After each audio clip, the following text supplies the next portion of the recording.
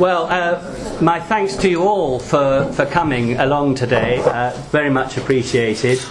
And uh, we always like to try and ensure at Africa Research Institute that we assemble uh, a, t- a team of experts for these uh, events. And I'm uh, very gratified and pleased and grateful that that is certainly the case today. We have nursing experts, midwifery experts, uh, businessmen, uh, we have um, experts on remittances, we have development experts, and I hope that we will therefore have a, a, a very lively discussion after uh, the presentations. But my thanks again to all for coming. Of course, the credit uh, for, for uh, such a, a, great turnout is, is not ours at Africa Research Institute, it is uh, Fouzia's. And um, I'd like to express my uh, extreme gratitude to Fouzia Ismail, Executive Director of the Somaliland Nursing and Midwifery Association, for coming all the way to be with us today. Uh, it's been my very great privilege to work with Fouzia on this publication since February uh, of this year uh, with Fouzia and her colleagues, I must add. There's always been a very considerable interest in this country in health in Somaliland. Uh, the first reference in the British Medical Journal to health issues in Somaliland was in February 1907, can you believe? And the first reference in the Lancet to uh, the health situation in Somaliland was in 1905. So, Fouzia, you're following in a long line of, uh, uh, of interest. I would also uh, like to welcome today uh, Michael Walls, who is Director of Research at the Development Planning Unit at University College London. Uh, as many of you will know, uh, he was a senior election observer in Somaliland during the presidential elections last year and has written extensively over the years about the emergence of a state government in Somaliland. Uh, and has been intimately associated with organisations such as Progressio, Somaliland Focus, and so forth over the years. And, and Michael is going to paint a, a, a little picture about, a, a, short picture about um, the political situation and the makeup of the state in Somaliland. I hope I haven't landed you in it there, Michael. Sure, I'll uh, work that out. I'd also, also like to uh, welcome Mohammed Yusef, who is Chairman and Chief Executive of Invicta Capital here in London, who has uh, extensive uh, business interests and obviously family links as well with the country, who is going to uh, impart a, a, a, sort of diaspora view to us today. So thank you both very much indeed for coming. Uh, a short word for those of you who are not familiar with Africa Research Institute. Uh, we're a strictly independent, non partisan think tank. Uh, we're established in uh, 2007 and are funded by a single benefactor, Richard Smith, um, who, to whom we are very grateful for making all of this possible this, this publication and Fouzia's appearance today. Uh, and Richard, I hope, may be joining us a bit later. Our real raison d'etre is to draw attention to ideas and initiatives with a record of success in Africa and to draw attention to areas where perhaps new ideas are needed. Uh, I'm in no doubt in my mind that uh, the successes uh, and achievements of the Somaliland Nursing and Midwifery Association are very much our, our home territory. These are uh, what has been achieved, it, it, should really be known about uh, on a far wider plane, and it, is, uh, it has been a great pleasure to, to, to, to work on, on this publication. Uh, a little a short word about the format. Um, Michael will start. Um, uh, uh, speaking for about five minutes, and then Mohammed for about five minutes, and then Fouzia will give her presentation and then we'll have, I hope, half an hour of discussion. And after that, uh, I'll call a sort of first closing. And if anyone has to go at two, we quite understand. Please do just uh, just slip away. Um, I'm sorry I've not managed to meet all of you in, in person in the half an hour before, but do please keep in touch and do please circulate this publication. Take as many away with you uh, as you want for people who you know will be interested. Um, anybody who is able to stay longer is, is, more than welcome to stay, and Fouzia has very kindly agreed to continue uh, discussing uh, um, all aspects of her work um, for uh, as long as she has the strength and you have the questions. So, on that note, um, Michael, uh, it would be very kind if you could, if you could start. Thank you, Edward. Um, hopefully, I'll be able to paint some kind of picture. Um, let's see what it looks like at the end. I, in working out what I was going to say now, I was trying to think of the kinds of connections that I could draw between health and politics, because certainly I'm not um, an expert on the health system or health in general. Um, there are some, some parallels, and I'll try not to labour them too much, but I'll try and draw some attention to them. One of those parallels is the way that a lot of what is happening and has happened in the years since 1991 in Somaliland have been self directed, directed by Somalilanders. Now, I want to just make a point that by self directed, I do mean self directed. I hear from time to time the, the line that Somaliland is all about Somaliland having done it themselves, and that if only outsiders, externals, external agents would get out of um, Somali culture, everything would be okay. That came up. That's come up in Somali, Somaliland, um, talking to Somalis from different bits of the Somali areas. It also came up recently in the Daily Mail. It's been brought up in the, by The Economist. Now, you can imagine the agendas there are a little bit different. Um, but I don't mean that. I don't mean that Somaliland, if only they were left alone, would just get on with it and do everything themselves. Somali culture is based and has long been based on trade and connections with outside world. So I'm not talking about some kind of isolationist um, process. But the fact is that a lot of what has happened politically and I think in the health sector in Somaliland has been directed, driven by, by local people, and that has been part of the, the reason for real successes, really quite remarkable successes. But as with health, there are many challenges in politics, or I could say the other way around. As with politics, there are many challenges in health. Um, the first point is that both sectors, I think, have achieved what they've achieved because of wide public support for, in the case of politics, peace, and in the case of health, I think, for just something to be done. It's that public support has enabled, in the political sphere, a series of conferences and meetings since 1991, and since, in fact, since 1990. The big ones were in Burao, followed by a period of conflict and a number of smaller pe- meetings, and then in 1993 again in Borama. Um, then again a period of conflict, and in 1997 at Hargeisa conference, which still a lot of people deride as being politically driven, but it had the um, remarkable, made, marked the remarkable achievement of adopting a, a constitution which has remained not in the same form, but some form uh, distinguishably similar to what was adopted in 1997, and it solved some of the, the issues of endemic conflict in the country. Um, not that there haven't been re-emergences of small-scale conflict um, periodically, but there hasn't been a reoccurrence of that widespread conflict that happened before that conference and before the Borama conference and in the Civil War. The process has not been smooth. That's clear from the fact that each of these periods of, of reconciliation were um, interspersed with periods of conflict.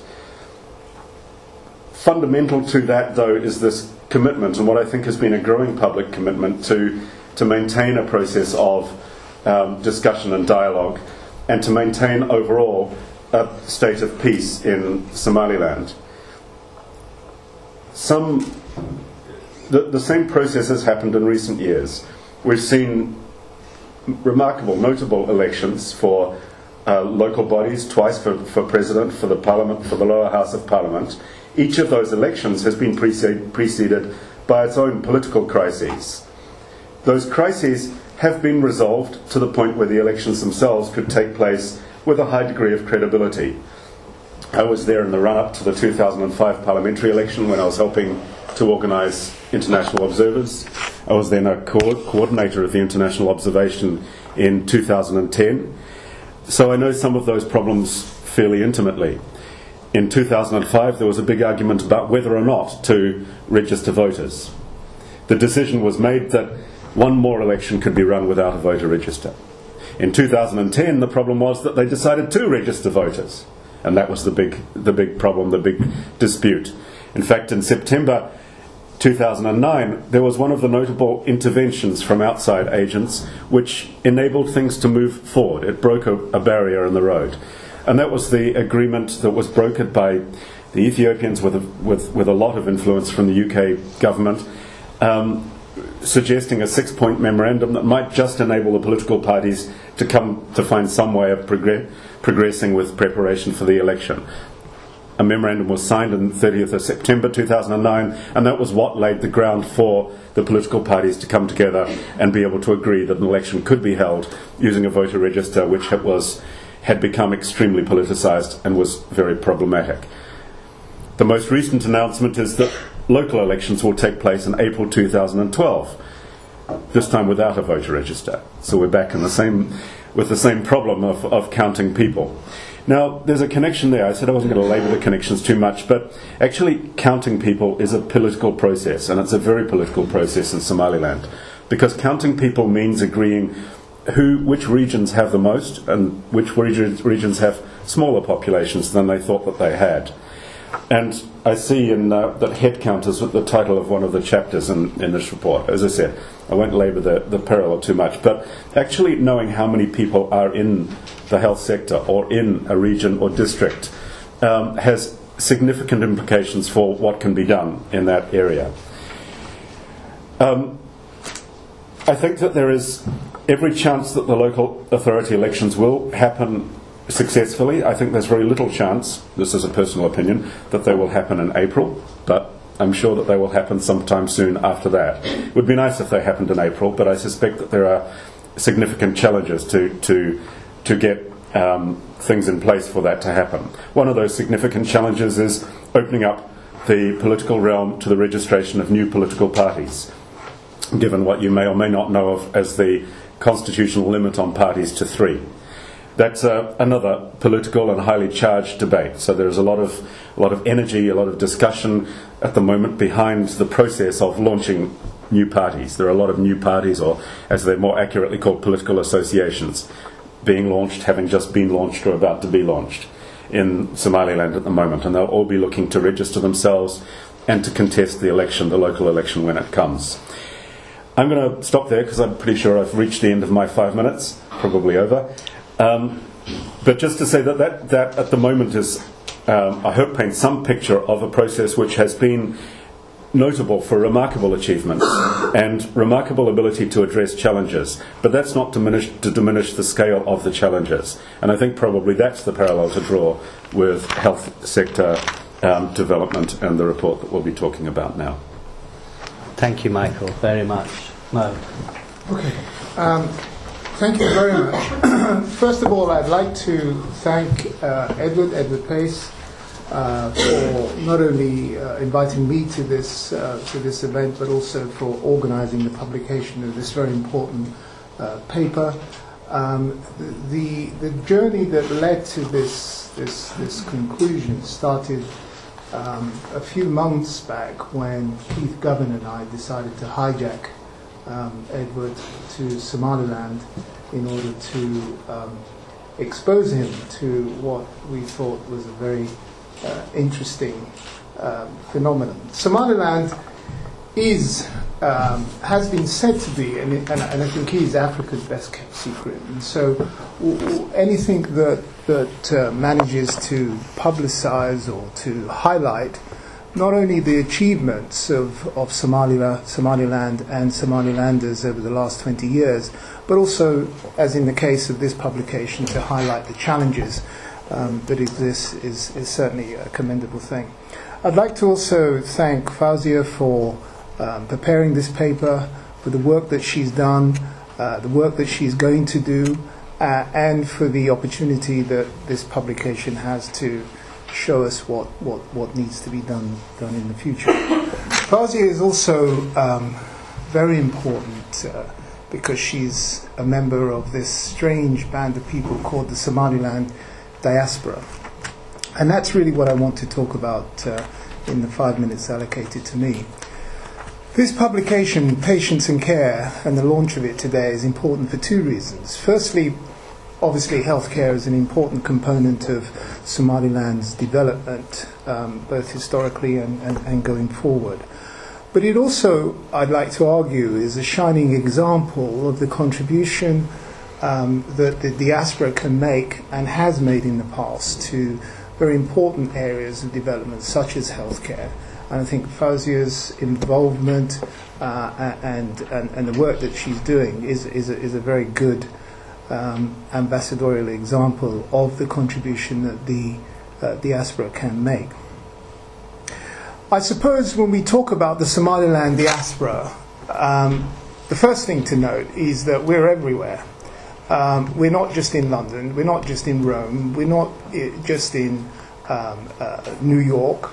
Um, I, am as, as, somebody that travels on, on business pretty much everywhere around the world. I'm often um, amazed at where you find Somalis um, in various. Uh, just the other day, I got a call from somebody a Somalilander um, from Wellington, New Zealand. How did he get there? Um, just uh, on the trip that Edward and I were, were, were on to Hargeisa, uh, we took along with us uh, a, Chinese colleague who uh, was um, surprised, although I wasn't surprised, to discover a cousin of ours who, uh, who was a student in, uh, at the university in Beijing. and it was freaky to see both of them talking in Mandarin uh, with all the gesticulations that, that, that, go with it. So, the first important point to realize is that the Somalis and Somalilanders in particular are everywhere. The other feature of the diaspora, which I think is important from the point of view of not just development but also healthcare, which is what we're here to, to, to talk about today, is that the Somaliland diaspora is highly educated um, we have a thirst for knowledge which uh, never ceases to amaze me. And that was reflected just recently when I attended a meeting of some of the members of the, of the, uh, the, the, cabinet. Um, and uh, I swear that there were more degrees in that room than a thermometer. I mean, the, the, the, we are very, very well blessed in terms of the um, expertise that the diaspora um, can, can bring to bear. The role of the diaspora in Somaliland, I suppose, comes into three, possibly four phases. I suppose the first phase came with people like my father, who came to this country in the 30s, and it's not accidental, it's not a coincidence that the first wave of Somaliland immigrants, um, who were nomads, ended up mostly as uh, workers in, in, uh, in, in, in the merchant, merchant marine. What they tended to do was a bit like the uh, Irish lump construction workers. They would work for six months, go back, build a, a water well, get married, create more children, come back, and that was the cycle. The second wave of diaspora obviously came when the um, uh, Civil War broke out and a lot of people scattered uh, to, to the, the, four corners of the earth. And from 1991, for a period of five or six years, I suppose, or a decade, um, the role of the diaspora was really very much focused on survival, survival of the nation, survival of their local people, their relatives. Um, the focus obviously was very much on remittances, making sure that there was enough money to feed the extended families um, that, that they, they felt a, a, an obligation to. The second wave, in terms of the activities of the diaspora all over the world, um, the Somaliland diaspora, was to become more actively involved once survival became less of an issue, to become more actively involved in the rebirth of the nation. Um, it wasn't just enough to send money. Uh, Somalilanders abroad were actively, during this phase, involved in rebuilding uh, what was a devastated, um, uh, a devastated nation. I think if anybody was um, involved, if any of you were involved in Somaliland um, during the, the, the, 1990s, you will remember that Hargeisa was really a flattened town. It was bombed um, to, to, to a level that's it's hard to imagine now. And there are two examples of the contribution that the diaspora made to the, to, to the reconstruction of the nation that I think are shining examples of that. The first, of course, is the um, Edna Adan Hospital, which was uh, built on the grounds of a, of a, a, a massacre site, a site which was used to, uh, by the Siad Barre government to execute people. And it's actually quite appropriate and very symbolic that, that, a, that a hospital that gives birth, a maternity hospital, should be uh, based there. I won't dwell on Edna's story. It is remarkable. Uh, the contribution that she has made as somebody that came back willingly to, to, to do her bit is, I think, uh, a fantastic example of the way in which the diaspora came back and, and, and helped in, in concrete ways. The other example is, of course, the young man who um, uh, uh built the Ambassador Hotel in Hargeisa that was a case of, of somebody who had no reason to go back. He'd made his money in, the, in, in, in, in, England, uh, and um, he, he was considered to be a complete fool. The idea of building uh, a, a, a, hotel that Westerners would come to uh, was considered by most Somalis at the time in Hargeisa to be really rather a foolish thing to do. But rather like Conrad Hilton, he said, you know, if I build it right, people will come, and they did. So that's, an, I think, another fantastic example of, of what the, the, the diaspora has done uh, and should be congratulated for. There are many other examples, and I, I, don't intend to sort of exclude them, but those are two that come readily to mind. But there is a, a third, more mature f- phase and involvement that the diaspora can, can, can get involved with uh, in terms of the next stage of Somaliland's development. And I think those are, can be subdivided into three categories. There's first the, um, the role that the diaspora can play in terms of the next stage of investment and development in, in, in Somaliland. We've come a long way.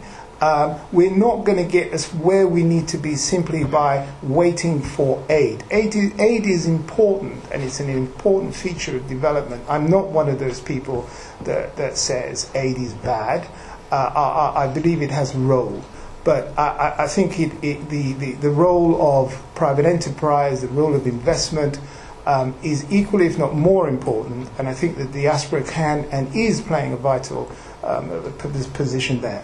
One of the things that, um, uh, and, and it's not just Somalilanders who are doing that. I think one of the things that I've noticed over the last five or six years is the extent to which the investment community internationally is much more willing to look at uh, Somaliland uh, for what it is rather than what they perceive. The reality and the perception of Somaliland are, are very far apart, but those, that gap is actually narrowing to, to, to a very big degree. Uh, and it's people like Mark Jones, who's sitting in the audience, who, who are doing uh, um, what they need to do to help us to, to uh, publicize the misperceptions um, uh, that Somaliland has.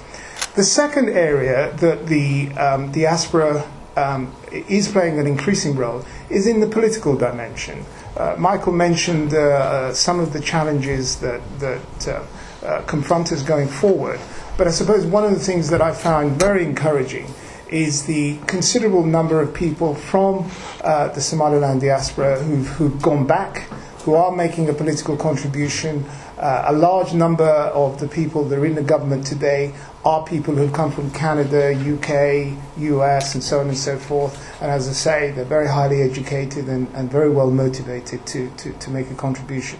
So that's an important phase which is, is, is, is increasing. The third area um, is, of course, in the area of um, uh, philanthropy and charity.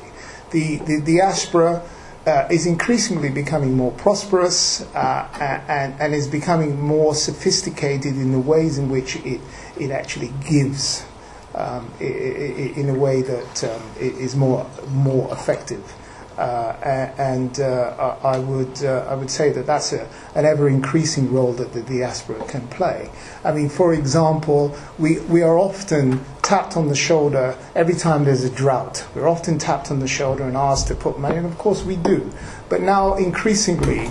Uh, people from the diaspora are saying, wait a minute, every year I send a thousand pounds, it's the same drought.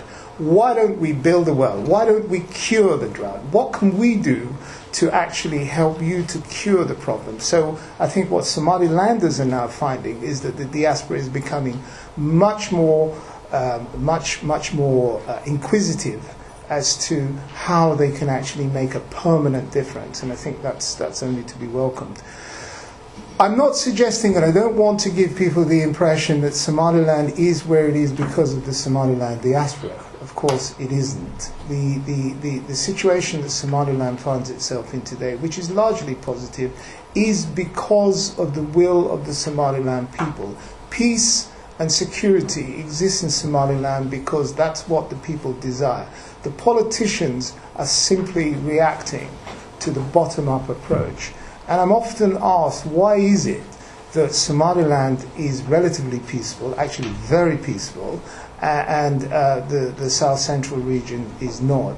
I think it's because, if you want to know one simple reason, it's because peace and stability in Somaliland was created from village to village, tribe to tribe not from the international community top downwards. And I think if there's anything that the Somalilanders can export to their brothers in Mogadishu, it is that. Don't rely on external help. Try to fix it yourself. Thank you very much. Thank you. Thank you very much indeed, Mo. Fouzia, are you ready?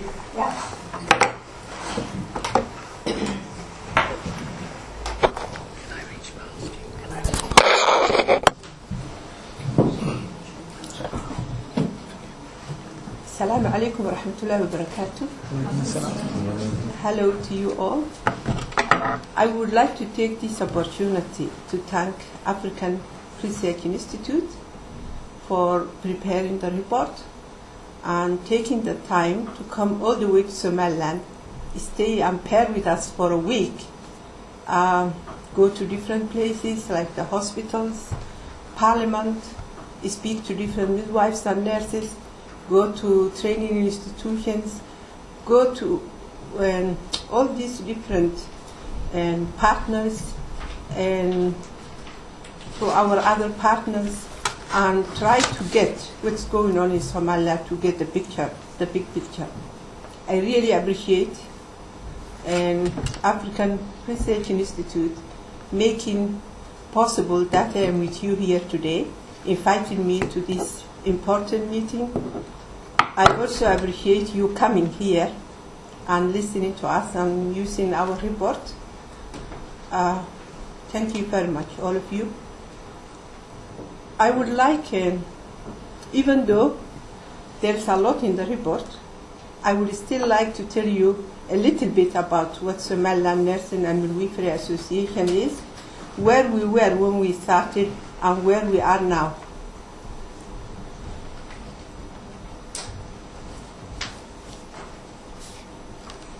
Why is it? Um, is it the down arrow? Yes. That one. That. Okay. I will start to tell you a little bit about Somaliland at the beginning so that you understand where I am coming from. These are the six regions of Somaliland, namely Awdal, Hargeisa, Marodiche, Sahel, the capital Berbera, Togdheer region, which is um, the capital is Kuro, uh, Sool region, the capital is Las Anod, and Sanaag region, which the capital is Erigabo. Somaliland is located in the Horn of Africa, and it lies between 8 and 11, 27 north, and longitude is 42 to 35, and 49 east. It has borders with um, Aden in the north, the Yemen, and Somalia in the east, the Federal Republic of Ethiopia in the southwest, and the Republic of Djibouti in the northwest. It covers a total area of 137,137,600 kilometers square, with a coastline of 850 kilometers. The landscape is mostly arid land, with, a short, with short rainfalls and no permanent rivers in Somaliland.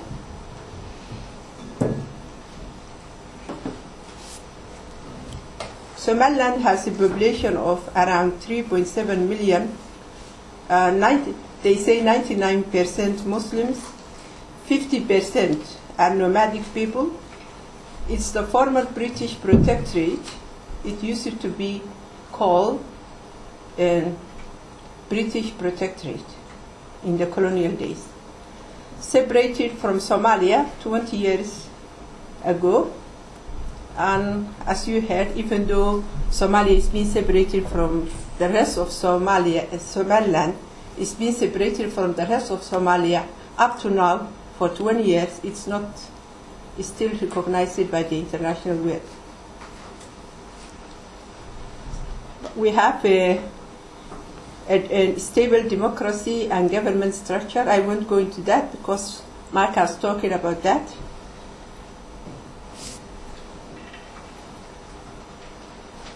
Mm, since 1988 and since the civil war has started, Somaliland was can be called a, a poor country,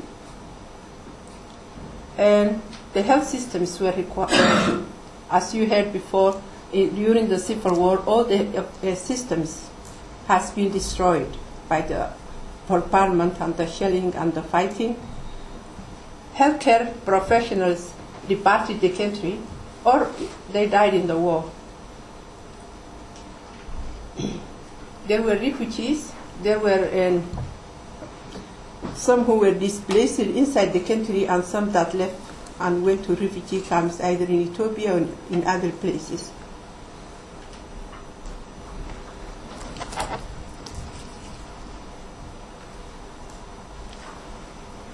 As you can also even before the 1990, there was, as you heard, a dictator ruling the country, Somalia, and before the civil war. Even in that time, you can say the health system was not the ide- in the ideal situation that it should be.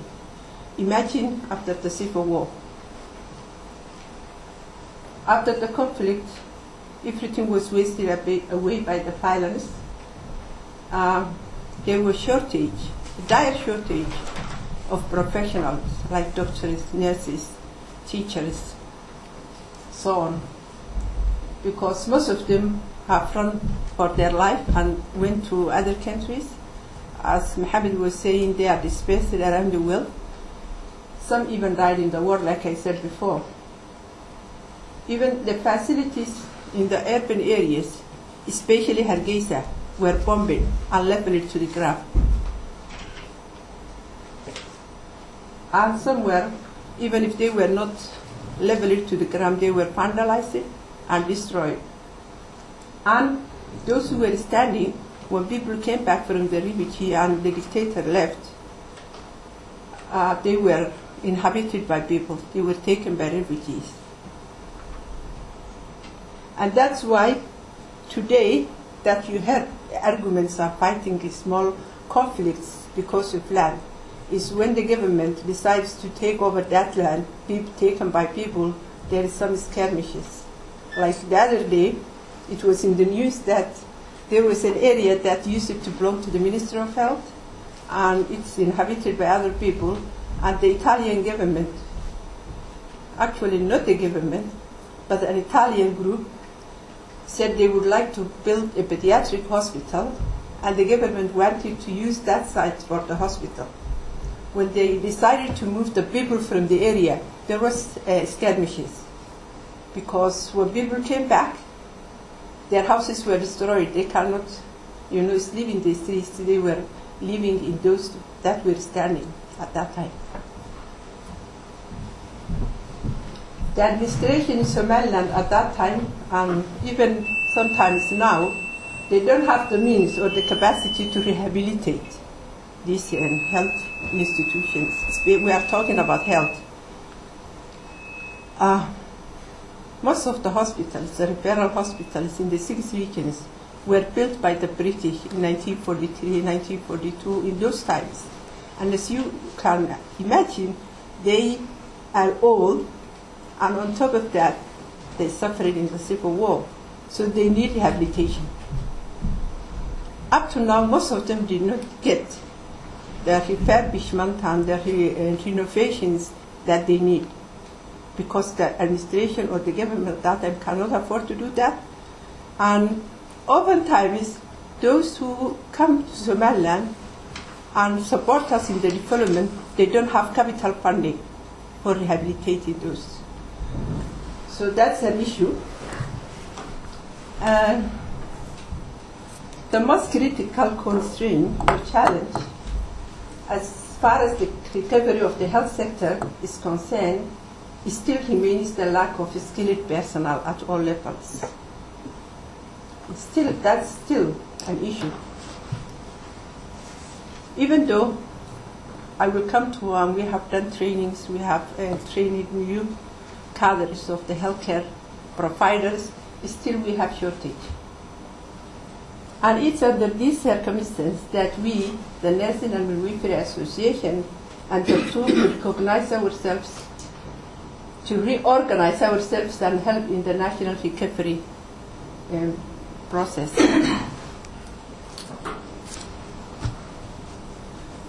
in 2004, when I came back to Somaliland from Canada, I found myself and other colleagues, we found out that uh, nurses are facing difficult times. There was a lot of issues. And the issues were so tremendous in a way that it was overwhelming.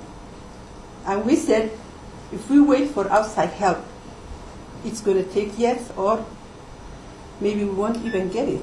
So we need to unite ourselves, come together, and solve our own problems.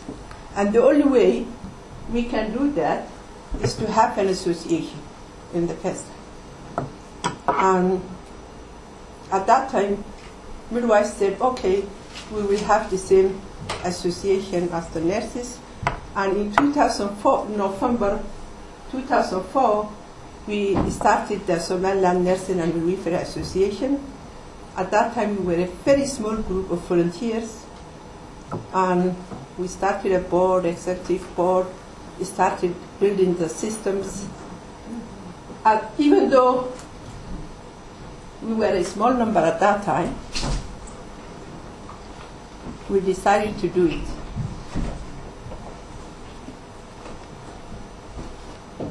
The mandate of the association is to act as both a professional organization and a representative for nurses and midwives in Somaliland by protecting, developing, and building their capacity in order for them to deliver quality healthcare services. We try to build their capacity, we try to advocate for them, we try to lobby for them within Somaliland and outside also.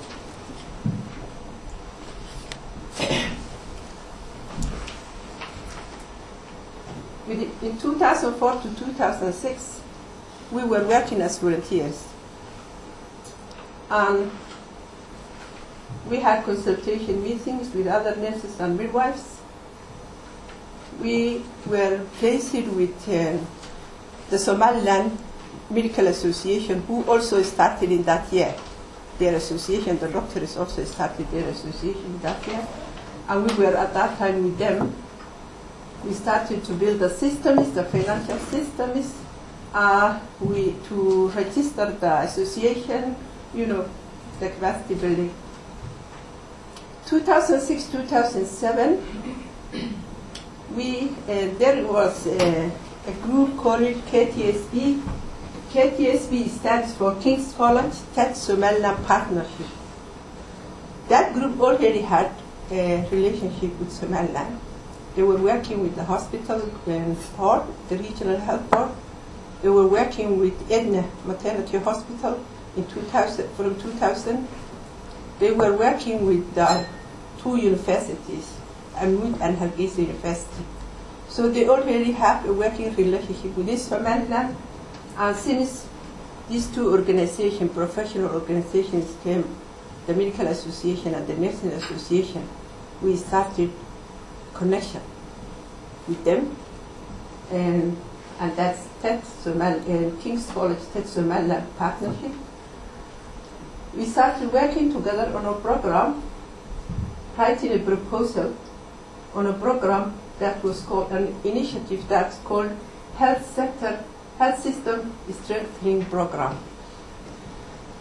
We came together in a large group because um, if nursing association or medical association or the other actors are working alone to develop themselves, it's not going to cut it because we have to build all the systems at the same time.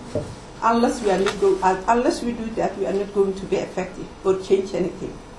So we said, let's all come together. The medical association, the nursing association, the universities, the other health training institutions, those international NGOs who are working in the health, like WHO, UNICEF, UNFPA, we all came together and there was a big proposal that was submitted to, the, to DFID at that time. the DFID has approved that proposal and THET, in our case, which is nursing and midwifery, it was THET, Tropical Health and Education Trust, who was working with us, who was our partner with the support of funding from DFID, Department of International, UK Department of International Development. And I would really like to take this opportunity to thank THET for their hard work, for their support, because some people, when they do a job, it's just a job. But to them, it was not just a job. They did it with passion. They worked along beside us, coming to Somaliland, working from here, and it was very, very helpful. Because at that time, we needed all the help we can get in order to be somewhere or be somebody or to do to achieve our goals. I really appreciate the work that THET was doing with us. I really also would like to thank, and thank DFID for their support. We still get Somaliland Nursing Association, the institutions, the hospital, the universities, we all still get capacity building from THET. When the HSSP, which is Health System Strengthening Program, which the uh, Ministry of Health was included, was started. We were supported with human resource and we hired staff like the executive director, program officer, and others. At that time, we were working blindly, and we said we cannot work like this until we do a proper assessment, a do survey, how many nurses are in the country, where are they, who are the midwives we are talking about, and we did a survey in all the six regions. We did an inventory of nurses and midwives cadre at all regional levels. And when we finished that, based on the findings of that assessment, we started uh, developing some systems like the CPD, which is continuous professional development for nurses and midwives, and that's based on the needs that the nurses and midwives told us in the assessment. Or we found out because there was no training, there was no proper training before Edna started high school, and there was um, for 11 years when people were in the refugee camp, they didn't get any training. Edna started in 2000, and she um, produced it, I think. And the first group graduated in 2003. Hargeisa Institute of Health Science was closed all those time. But we restarted the training in 2000. It restarted in 2003, and the first group graduated in 2006. But what I mean from that is they had no proper or constructive training. They didn't get any refresher courses except one day, two day here, there by the international organization, a seminar, a conference, but nothing con- um, constructive. They didn't have upgrading or refresher or nothing. So that's why we started with the CPD program and developing the CPD framework for nurses and midwives. We also did another assessment for the training institutions because we wanted to know, we wanted to do an audit for the teachers. Are they qualified nurses? Are they qualified teachers? Are they enough? Do they have the necessary equipment, whether it's teaching tools or training tools? Uh, and we did that also. We also um, we found out that even the teachers did not get the upgrading or refresher they need. They have the same problems with other people. They have come back from refugee camps. Their skills are rusty. They haven't practiced it for quite some time. They didn't get any refresher. The teachers themselves need capacity building, CPD also. And then we established three chapters in three regional offices at that time, and later on two others. So now we have chapters or sub offices in all the six regions of Somaliland. And in each region we have a committee working in that region. At the beginning we were working with three nursing and midwifery schools, and now, but now we are working with five because there are other schools that were started after. The other thing we found out when we, we did the assessment for the schools, we found out that there is no nursing and midwifery education standards. Each school had their own curriculum and they train with their curriculum. When they come to the clinical areas, they are functioning at different levels. So in order to standardize that, we decided to do um, develop some new curriculums and review the older ones. SLMA facilitated or participated in the development of three new curriculums. One, when we did the assessment for these schools, we found out that not only their skills are rusty, but there is a shortage of nursing and midwifery teachers. So, with the support of DFID THET, we trained 26 nurses to be nurse tutors. So, in order to do those 26, we have to do, develop a nurse tutor training curriculum for them. So, we developed that one with the support of THET. And then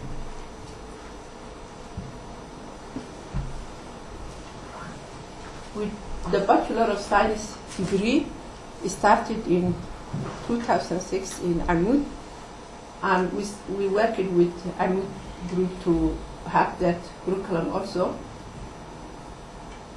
The midwifery and BSc or Bachelor of Science in, midwifery curriculum was developed also with the support of THET, and we had a, a consultant who came to us and supported us in the development of this new curriculum. This one was new, this one was new, and the total one was new, but there was a bus basic midwifery um, curriculum that was um, developed, and it was for those who finished three years nursing and did 18 months midwifery.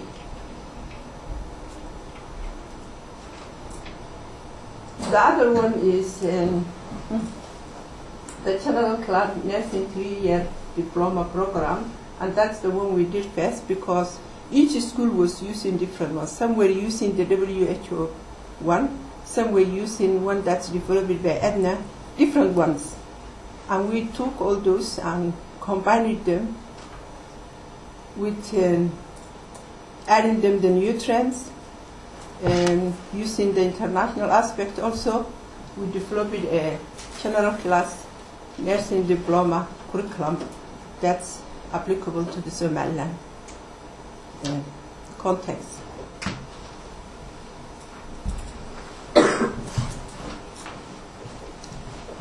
This is one of the one of the, when we are developing a curriculum, the Ministry of Health usually helps us setting up a committee that comprises of the international consultant, WHO, and we include UNICEF, the different uh, institutions, university, and the curriculum department of the Ministry of Education.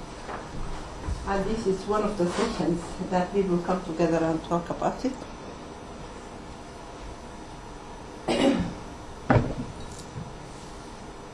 Based on that findings, the assessment we done, at that time we developed a three-year strategic planning. Uh, we developed the CPD framework, I talked about that, and we hired a CPD coordinator to do the CPD trainings in all the regions. And later on, we also had the CPD coordinator was a nurse, but later on we hired also a CPD coordinator assistant who is a midwife, so that we have all both. We also um, talked and did standardization of training institution examination and then registration of graduate students. We attend at the examinations at the beginning, entry, and again when they are graduating the final exams. We, we monitor that as an association. We have a, a committee that goes to the different schools to see that the examinations are fair, that the competencies are there, and fair. We collaborate with the Minister of Health to develop health workers promotion the Ministry of Health and the Labor, they contact us.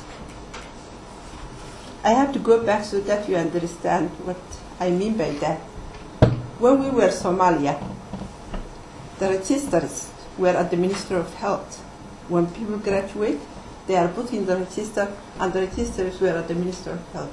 And before, in the previous Somalia, if you want to find someone is a graduate or qualified, you go to the ministry and check the register. There were two registers, three registers to Somalia. Two nursing schools in Mogadishu and the one in Hargeisa, Somaliland.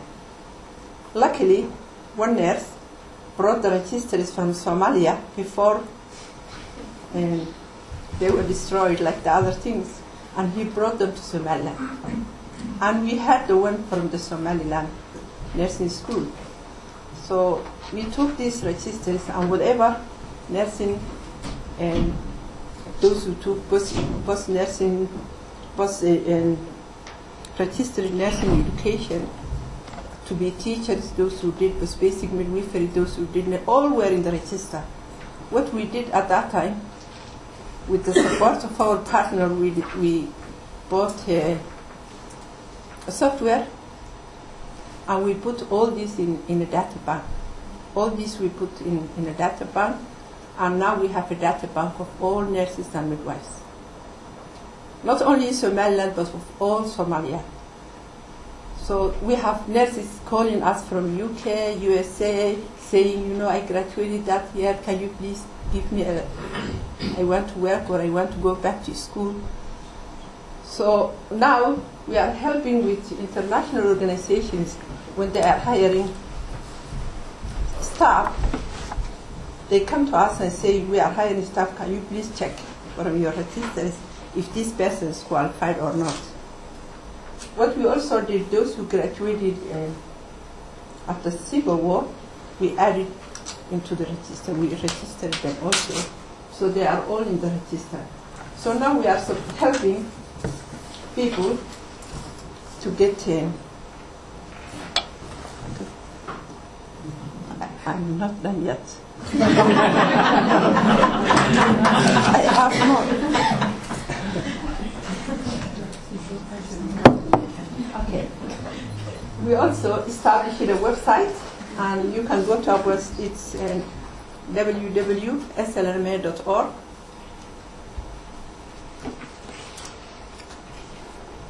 We developed it also when we finished that one, another five-year strategic planning on April 2010. I think I'm not going to talk more about because I don't have much time, but I will go over this. We established a quality control competency audit system where we assess the nurses and we do an assessment. And as you saw in the first picture, they were wearing a card. That's the one we give those who go under the assessment, a card that, that says whether they are qualified midwife, qualified nurse, their picture.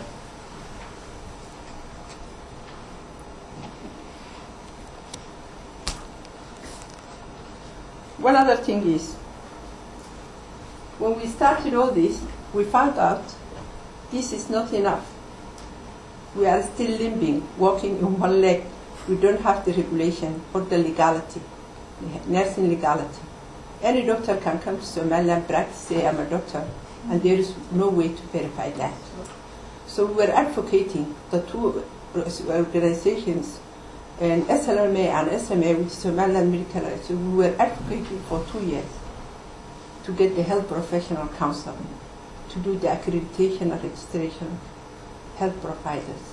And luckily, we have that now doing the basics. There's the health regulations. There was a law, an act signed by the parliament in 1999, but it was not successful to the fact that it was actually functioning. But now, the law is amended.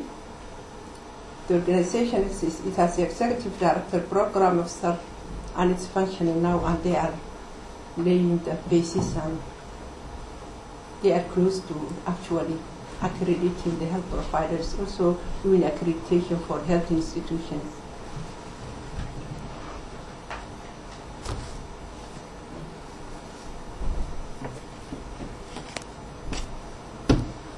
Are the nurse tutors I was telling you about, the 26 nurse tutors who have taken their 15 months um, nurse tutor training. And that's their graduation in 2009.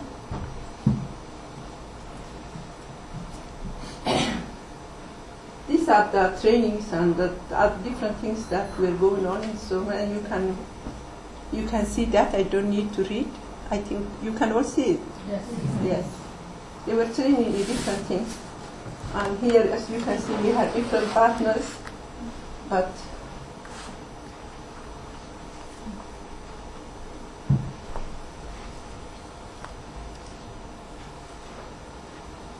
there is a system also we have called it rewarding and recognizing uh, providers that are either excelling in nursing education, midwifery education, or excelling in their work. In our annual general meeting, we recognize them, call them the nurse. This one is holding the nurse of the year. Just to encourage them so that you know they do more and be a role model for the others. This is another one. We do not only train now for, from nurses in Somaliland. For, since last year, we are also training nurses from Somalia, from the rest of Somalia. This group of people came from Gedo region, and we, our partners were THET and Trócaire, and we were asked to train nurses and midwives from since there is fighting there and it's difficult to train people in the south. Sometimes they bring them to Somaliland and then we train them and they go back. We don't do only training in the class, we also do ha- hands-on thing. This is one of the basic emergency obstetric care that we give to the midwives. And it's a, as you can see, it's hands-on thing. They are in the lab. And sometimes they also go to breaks in the hospital, the CPD. And this is one of the class things.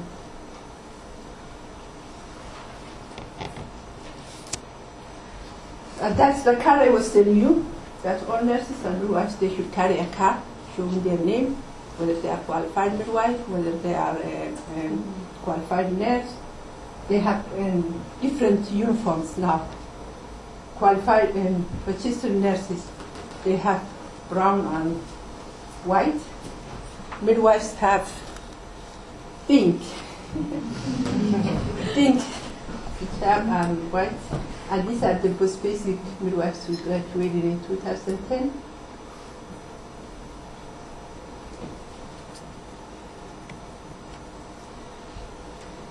Do you mind if I finish this too? I think one of the lessons, some of the lessons I learned is when an stable fact is the requirement of more strategic external support, especially in the development of required health infrastructure, because it's very important. We train people, but if they don't have, uh, sometimes we train them and they come back to us because the area, the infrastructure they are supposed to, to work does not have the equipment they were trained on, or the building itself is in shambles. It doesn't have a sink where they can wash their hands. We are teaching them the universal precautions. We are teaching them to wash their hands for infection control, but they don't have the sink. So we need to rehabilitate the health institutions, the, mainly the hospitals. So we still need support in that area. We found out unity creates synergy. That's a fact because working together with international support, we have achieved a lot. If we work together, we, will, we can achieve more. So working together, I mean the Ministry of Health, the other actors, and universities, we were all working together. And when you have um, collaboration and coordination and this type of, you know, good working relationship, you can achieve more. So that's very important. Uh, we also need to have a national, we found out that we have to have a national human resource planning to overcome shortage or redundancy and and focus on priorities. We must have, we can't say, oh, train, train, train. No, we need to have a plan.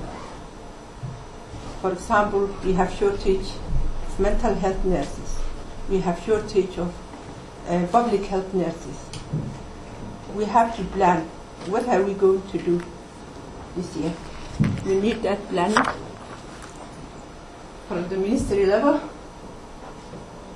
what the, some of the challenges were, even though we're talking about many achievements, the challenge still remains on how this can be sustained, maintained, and built upon. That's one challenge we, have to, we are facing and we have to overcome. As I said earlier, the most critical constraint as far as the recovery of the health sector is concerned is lack of skilled personnel at all levels we still need skilled people. The other thing is inadequate salaries to attract and retain qualified staff. We find sometimes someone who is qualified but who comes back from the diaspora or still was inside but we don't have the salary that person deserves because of the financial situation, the economical situation of the country, and this is also compounded by the status of being, not being recognized uh, and not getting bilateral funding or support. Minimal sunlight. This also brings moonlighting. Do you know what moonlighting is? when I say moonlighting, it means when people are not getting enough salaries, they tend to look for another job. They are working in the hospital this morning. In the afternoon, they are going to a private doctor's clinic. In the evening, they go to Aetna. You can imagine that person is tired when they come to the public hospital in the morning. They cannot be effective or function the way they are supposed to. And they are working because they are doing that because salary is not enough. They have to pay a roof over their head. They have to feed their children. So they have to do that. And I understand why. Even though the new finance minister has increased the salaries 100%, it's still not enough. There is also, at the higher level, lack of required supervision and management, whether it's the health center, whether it's the hospital, there's not enough um, the required supervision and management. It's not up to the level we wanted.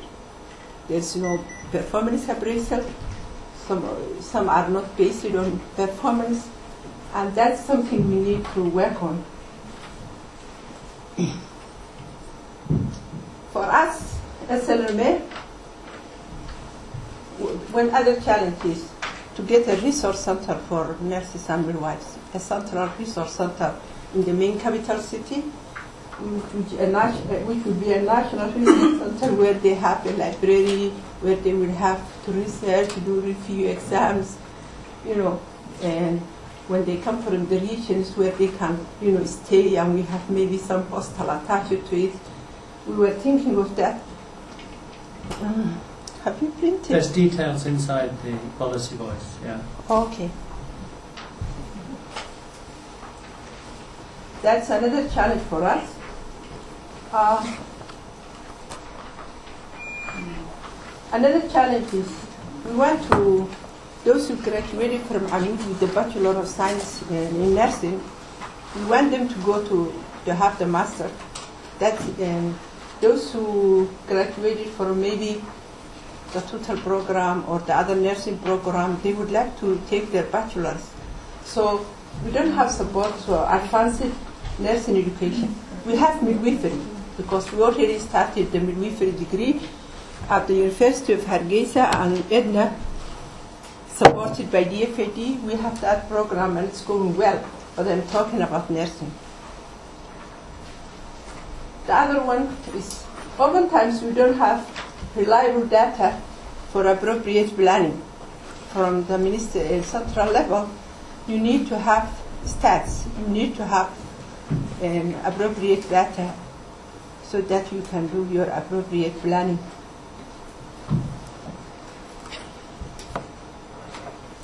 Our partners are Minister of Health and Labour, Tropical Health and Education Trust, UK Department of International Funding, King's College Hospital London, UNFPA, UNICEF, Somaliland Wales Link in Cardiff, Royal College of Obs and Gynecologists International Office, Health Unlimited, which also called it um, Health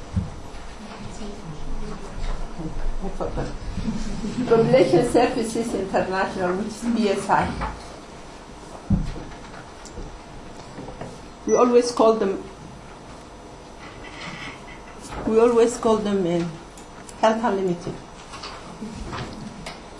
So, thank you very much for listening.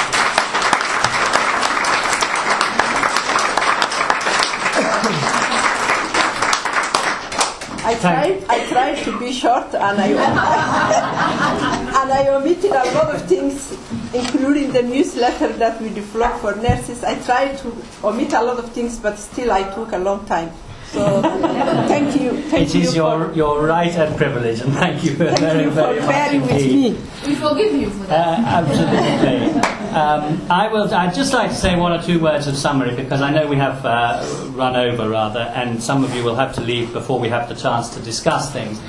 It, it struck me when I first arrived. It's absolutely remarkable that. Uh, you know, in November 2004, when this association was founded, there were seven people at the founding meeting, and they had no idea how many nurses and midwives qualified there were in the country.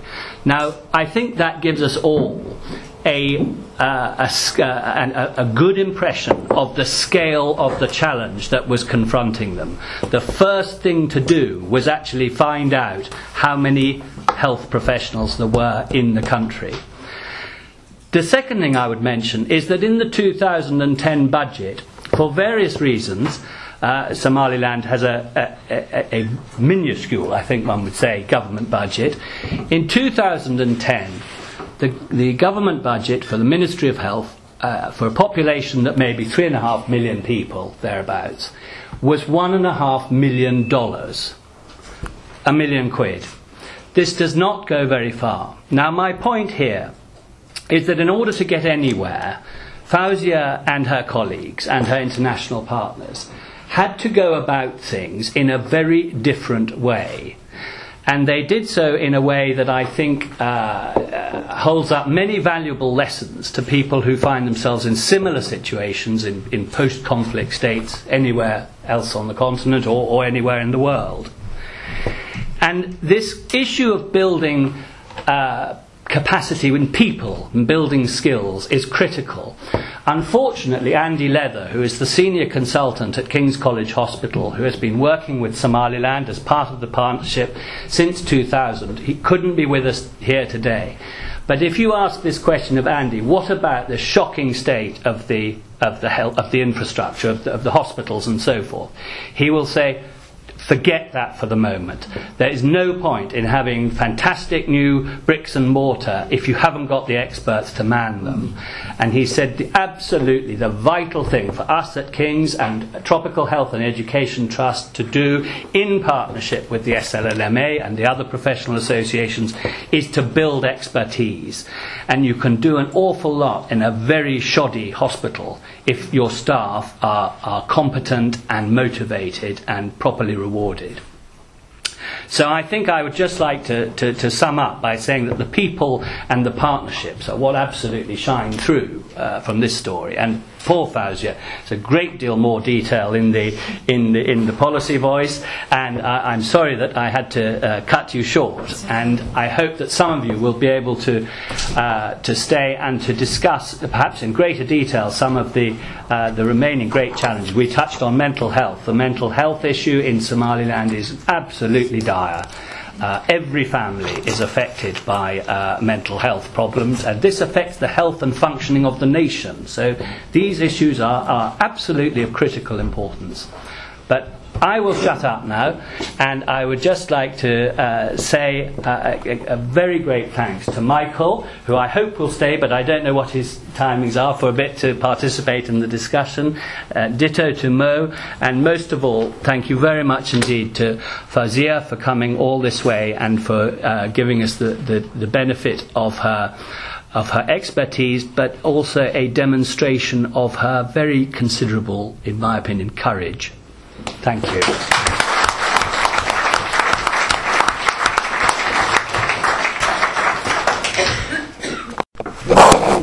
says you cut through suffer these consequences. No, there is no law yet. They are talking the Ministry of Family and Social Affairs and other partners are working on a policy now. And I think the policy will be taken from that, uh, I mean the law will be taken from that policy and will be, I heard it will be taken to the parliament, but up to now there's no law that says, you know, you will be imprisoned or you will be fined or if you do this. No, we are not there yet. Okay, thank you. Yes. Um, Gillian Barber, um, I work with THET and other people around within nursing. I can just add to what um, Fouzia said in that FGM and, gender-based violence in general is going into all the curricula very strongly for nursing and midwifery. I don't know about medicine though. It is, uh, it's, uh, uh, it's been incorporated into the nursing curriculum. FGM is also uh, one of the modules in the nursing curriculum also. And now it's taught in the uh, nursing institutions. But I'm saying there's no law up to now in Somaliland. But there's a lot of educa- education going on about FGM by different partners. Yes. Lucky. My name is Lucky Ismail and I run an organization called Back to Basics Smile Arts and I would like to say that basically what Fouzia has done is amazing and I would like to also thank uh, Edward for uh, his own time taking to go to Somaliland And in terms of policy and uh, governance, I think Somaliland has come a long, long way, and I think we have to give a time these things to take its time to get this policy in place because Fouzia, what she has done is something no Somali has done, and someone we should really look up to and appraise for the work she's done. Thank you. If I could just say, as for the composition of the panel, it's Edward's fault. and the second thing I'd like to say is it's true, I am a man, and uh, I suppose I should apologise for that. But um, the, the more important point is that um, the point that I'm often struck by whenever I visit Somaliland, which is now virtually every other month, is the role of women it's something which isn't sort of really uh, appreciated or understood in the West. We have this, if you read the Daily Mail, if you listen to various uh, people, the impression given is that women, particularly in Somaliland, are uh, oppressed and uh, are very much second-class citizens. It's true that there are other, there are aspects of uh, Somali or Muslim society which is which are very different from the West. But the difference doesn't make them inferior, they're different. And I think on any objective level, on, on the issues that really matter, you know, um, perhaps not the ones that really show, women are far, far more powerful in Somaliland than they're given credit for. Actually, I think it's very much a matriarchal society. At the end of the day, women rule. Main Bach. And uh, Michael would just like to. Uh, Um. I'm not sure. I'm, I'm not going to apologise for my gender, but um, I was just in Somaliland until a couple of weeks ago doing a small research project on women's political participation in Somaliland. So it's probably worth just commenting very briefly on that. Um, women are, as Mohammed says, very um, very active in many sectors in Somali society, but um, there are some there are some difficulties for women in terms of public representation, um, and they're they're quite difficult to it's quite difficult to work out how to change those. There are proposals such as political quotas for women in parliament and local elections, which it seems likely there will be a quota introduced. But that is precisely to try to change a system where women are seen as not re- representing a given clan. Um, and actually, it's that that makes it so hard for, for women to take up a higher profile, in my experience, um, position. Because people say, So who are you? Are you from your father's clan or from your husband's clan? And that, in, that does constrain women's participation in many aspects of Somali society. Also hides what is real participation, and I think that that's the, the truth in what Mohammed's saying about sort of women being much more influential than they seem to be. One comment I got was actually women make all the decisions, but we pretend not to because we don't want to challenge men's feeling that they're in power, which actually was a pretty good way of summing up, I think, a, a situation.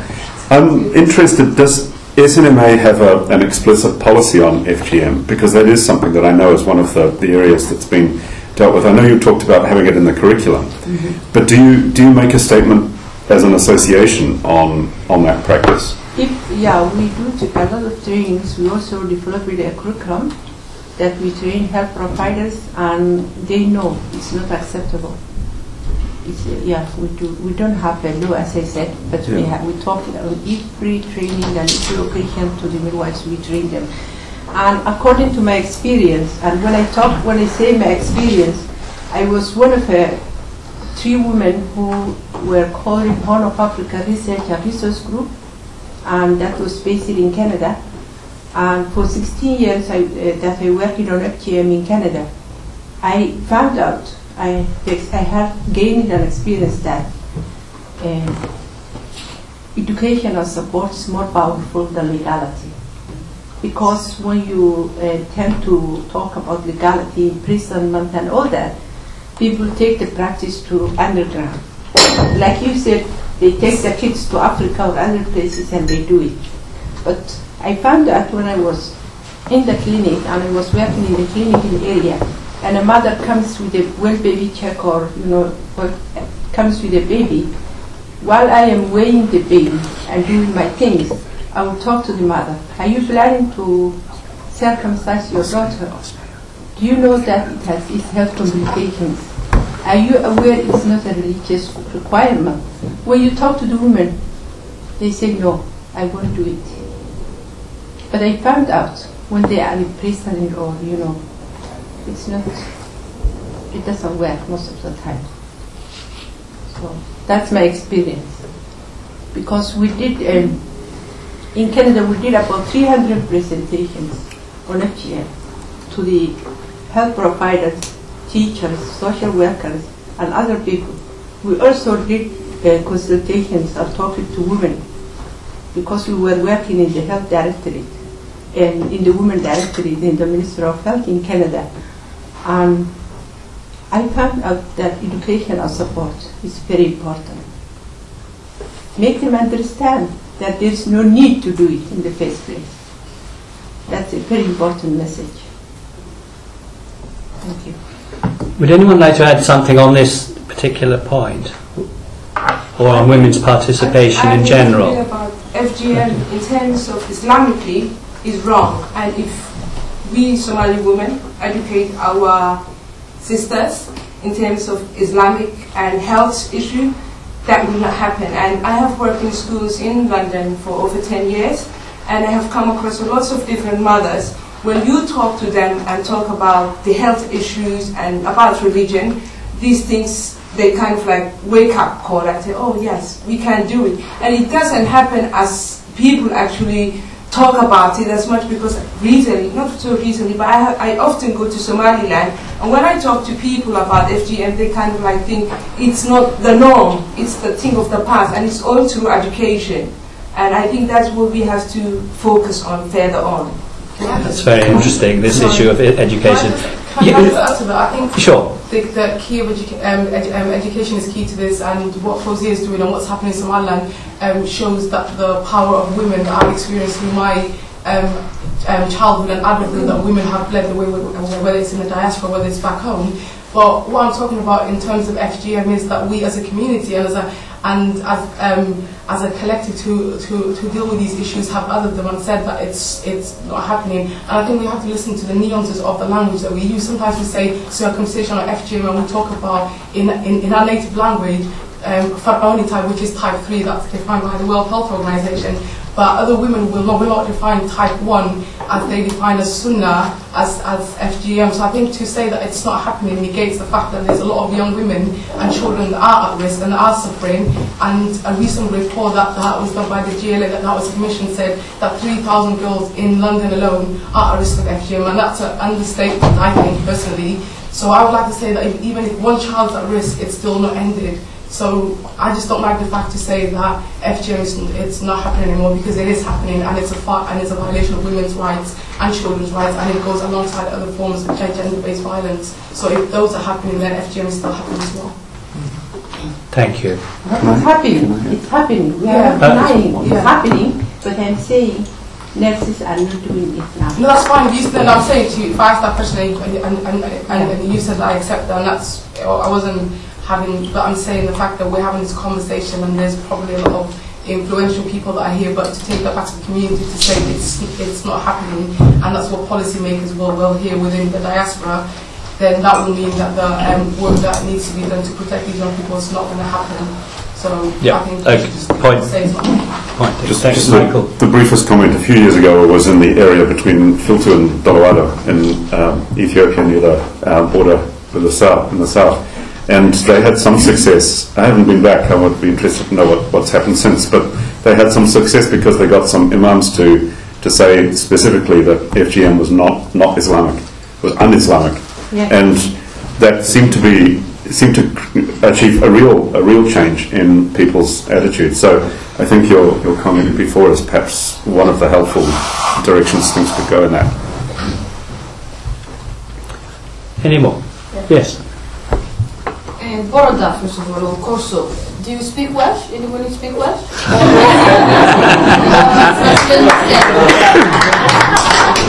Uh, Excuse me, good afternoon or good morning. Thank you. Thank you very much for the two inviting us today for your, for your launch, for your research. And I'm very appreciated and very I mean, lucky to be here today. And what I want to say something about Fouzia, which I'm not, I'm not going to take long. I met Fouzia a year and a half ago in Cardiff. That's the first time I met Fouzia. And funny enough, it was our holiday in Eid, which she gave her time for us, women in Cardiff, in to show us what she does in, in Somalia and Somaliland and this, the universities. And we, we, what happened, she enlightened us and she informed us so, so, so much. What we did, we collect some fund and we passed on to her. And she was the first one who promised, because we, we've been doing as a diaspora, collect money to send back home. She promised and she did. It was the first person, very important in Somaliland, came to Cardiff, who promised and she achieved her promise. What she did, she documented the money we gave it to her to help in Somaliland. She documented, she put a CD and she sent back and we showed the ladies back home, which is what I, what I mean back home in Cardiff. And which is very, very good. Just I want to say that. And I Could I, sorry, can I ju- interrupt just quickly? Yes. So then you can do us both at once. I, uh, thank you very much for coming from Cardiff. That's a, it's a tremendous effort and we very much appreciate you, you coming here to contribute. And I, I would just like to agree entirely with what you said. One of the, one of the great joys of producing this publication uh, is that Fouzia is always there on the end of the phone. She always answers a question quickly. Uh, and not all the authors with whom we've collaborated, I can tell you, are like that. And it has been a- an absolute joy. And I'm not making, uh, the, the, well, the reason why I'm making this point is that this, of course, is the success, of, uh, uh, uh, uh, the secret of the success of the association. You know, Fouzia is available to everyone, to every stakeholder, everyone interested. She's on Facebook too. 20 and she's on Facebook 24 hours a day and Twitter. and uh, you know her work never ceases so I, I'd like to No, I just want to thank uh, Kamal and, and Kinsey for coming all the way from Cardiff. But um, I want to tell Kinsey that the bed sheets, the blankets, and the pillows and the mattress are now in the hospital. Thank you. I, I got an email from the director, the new director of the hospital, and he told me that they again washed the hospital, and I put all the new things. And thanks to you all for those who contributed to that fundraising. I really appreciate. This is an interesting issue about Hargeisa Group Hospital which many of you know far better than I do that there is at least a director there now. Uh, now there have been directors in directors out periods with no directorship and uh, again reverting to what uh, uh, you know Andy Leather would say or, or any of the nurses and midwives here you know you, you can't you cannot run a national referral hospital without a director. I mean it's just it's like an aircraft carrier it's got to have a skipper. So um, I don't know uh, Faduma well. I've met her twice, uh, and I wish her all the luck with running this very large institution and and actually uh, uh, achieving within um, uh, a very difficult environment, um, you know, the, the maximum that is possible. Well, yes, madam. Hi, I'm Molly Buchanan. I'm a trustee of THET and I'm the, also the immediate past president of the Royal College of Nursing.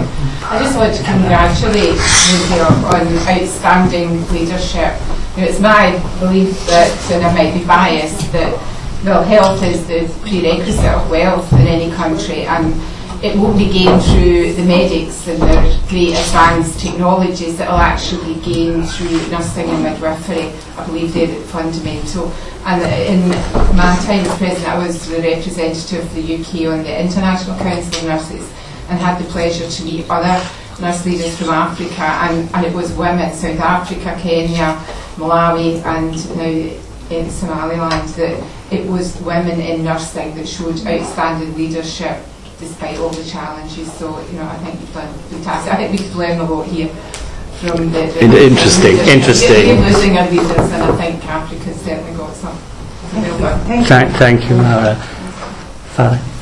Just continuing to the uh, Hargeisa General Hospital. Um, we see the capacity building on the nursing part, uh, maybe some doctors and some uh, midwifery, but we don't see any build up on hospital administrators.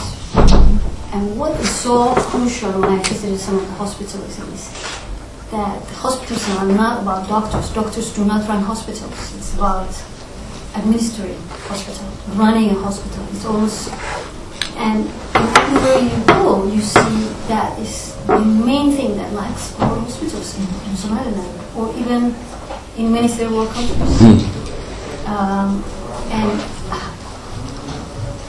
there, there must be some kind of a way of building some capacity building on administrative hospital administrative systems in Somalia. Because the hospital in general hospital in Hargeisa is not breaking down into pieces by lack of doctors or nurses. Somewhat yes. But lack of simple administrative system. There's no system Fouzia. And I think um, Rachel wants to comment on that. So we give her a chance. So just to answer, we completely and utterly agree. I think the general feeling is that the change Sorry, can we, uh, who, Can you stand up, Rachel? No, I just wanted to know who you were. Introduce Sorry. yourself, Rachel. So um, I'm a former member of THET. I worked with Thousand for four years as the, um, the nursing midwifery coordinator at THET. Um, and we're involved in other areas, but just to say that very, you've hit the nail on the head, we completely agree, and as Edward says, it concurs with the comments that Andy Lerner has made. We did try um, to support the director, but there was a changeover for a long time. There was a temporary administrator in charge. And under the previous, uh, well, essentially, we did give some support. We sent out a consultant that worked there for three months, working and look at how you could look- generate income support. The hospital didn't even have an open bank account, not even an open bank account. So you couldn't end up, and obviously most people here know that it's fee paying on the wards, but there was no way of actually being able to account for the money coming into a ward. There was no way of being able to account for the, uh, the needs of the different wards, the different size, you know, obviously some wards have more beds than others. Uh, but the allocation of funds given out was just blanket, and this was something we really tried to work hard with.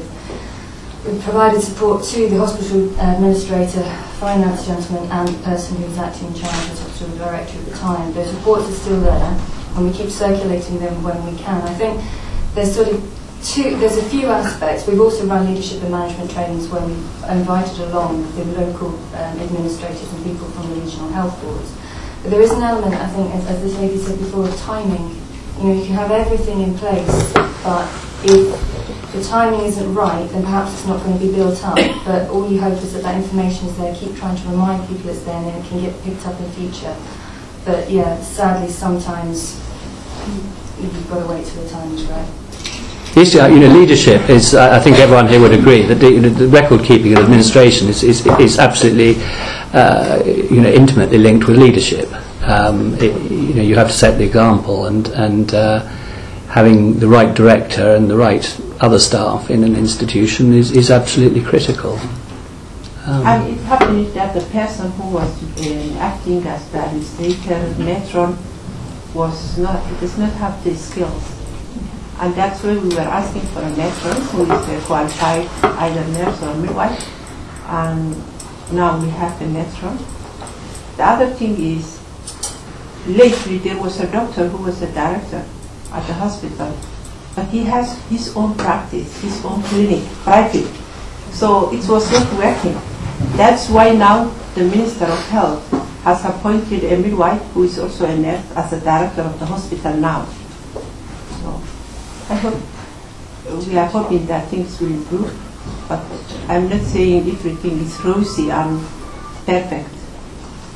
But referring back to your point, Nima, as well, this is, you know, I know small encouragements, but it, it, it's never happened before that there's been a director of Hargeisa Group Hospital who is, uh, who's, I a know ma- there's- and who's a there's things that matron. we have here in the which UK is- that our own um, minist- our Department of Health and um, the Royal College that, that, that we have in, like you know endorse FGM through other forms and other names of the labioplasty. So I'm saying there's like you know, there are always things to learn. We always have to talk about the rights of women within these kind of things as opposed to things being constructed around with. They need to be constructed alongside what we need as women as children.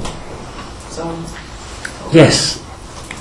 Hi, I'm Please. Laura Hellman from the School of Oriental African Studies. Um, let me just add my voice of admiration for Fouzia and the work that you're doing. I wanted to ask whether, um, you mentioned that the problem of training and training and wondering perhaps where your graduates go, and I wondered if you could say a little bit more about any efforts that are ongoing to try to, to take the expertise that you're generating to use it in, within the public health sphere. Because I think this is an issue not only for health, the healthcare sector, but as well for other kind of sectors with lots of graduates emerging in Somaliland and not very many jobs available. As I said, that was the challenge for us. Um, the reason I said that sometimes we graduate nurses, but we don't have the jobs. Uh, and sometimes the other thing is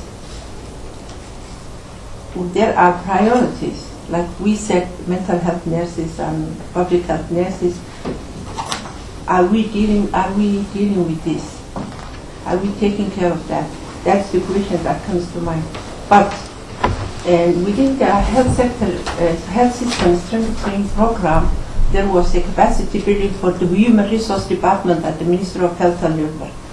So now, um, I think they are ready to take that part, and they, they voiced it in their last coordination meeting that they are working on the national planning. So if that comes, it would be very helpful. Because sometimes you will see one school training about uh, maybe 180 nurses. Is that appropriate? There are questions that come to mind. And we, um, we can advise, we can advocate, we can, but we are not the authority to say no to this, we are not to that as association. So that's why we are, but we can advocate, and we are doing, we are advocating for that. At the back. Hi, so my name is Sonia Thornton, I'm and Education Trustee. And just to add to Fouzia's last point, I think it speaks to really one of the lessons learned that Fouzia mentioned on her um, presentation, which is issues around um, health system strengthening are um, broad issues across not just the health sector, but across all issues around governance and training and uh, community needs that a country like Somaliland needs to address and that everybody needs to get on board with those things. There are many, many partners, both local and international, who have a part to play in good human resource and health workforce planning. Uh, and the work that not just that, but lots of other partners are doing with Hmm. um, central government and also regional government really requires, when you can put a lot of technical inputs in, you can give a lot of uh, resources to improve the situation around health workforce planning, but it's really something that everybody has to get on board with and everybody has to have the same agenda and uh, get on board with policies that are created within Somaliland and led by Somaliland organisations like the SNMMA. Um, and I would just say from um, a kind of outsider's point of view, I've been incredibly impressed over the last couple of years at the, the real development and real progress that um, organisations like the SNMA and the Ministry of Health have made around improvements in health workforce planning and hopefully over the next few years some of the fruits of that labour will really be seen um, on the ground and in facilities and for services for patients in Somaliland. Thank you. Very brief. My name is Mohammed Hassan from Nomad International. Um, I was I had a question for uh, for Sia and maybe looking for a solution for Mohammed Yusef um, and adding on Laura's um, issue of, of this issue about graduates uh, in relation to the opportunities when you've got a pool of graduates that are um, graduating from university every year um, uh, without any sort of uh, uh, uh, prospects uh, as to where they're going. So now the solution for those um, graduates is, is, is, is to go out of the country, um, which, which is seen as an increasing problem. Um, so I, I don't know how, how, how big the problem is, but maybe you could sort of enlighten us on that issue. And maybe to Mohammed, is there anything that can be done for those youngsters uh, uh, using sort of your own uh, experience and expertise? Uh, no, you can go ahead. I'm That's it's an issue The, the, the, uh, the issue of unemployment amongst the, the young in Somaliland is an acute problem. It's an acute problem here, but I think it, it's, it's amplified in Somaliland by the fact there's a security element attached to it as well. Um, the, the pay of a recruit to Al Shabaab is less than five dollars. It doesn't actually take that much to recruit somebody to Al Shabaab. The number of uh, youngsters in the south as well as the north who are who have no hope increases enormously by the day. There's an enormous amount of intellectual energy and cash that comes from the West, America and Great Britain in particular, that's that is called aid, but is really directed at security. And the belief is that the more secure that the Horn of Africa becomes, the less of a threat that that will be to, to the UK and the streets of San Francisco. To answer your question, in my opinion, I think if less money that comes from that budget is put into security type projects, and more is put into the type of projects that will create employment. And by that I don't mean um, NGO type structures, but to, to fund, to seed fund small scale private enterprise.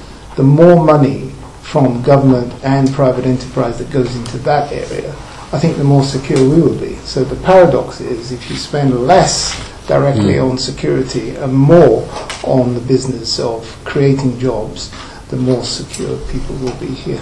Maybe just adding on hmm. pose here. Is there a link between graduate students and outward migration? And actual in graduate, graduate and And outward migration? Students who graduate and leave the country. Is there a link between the two?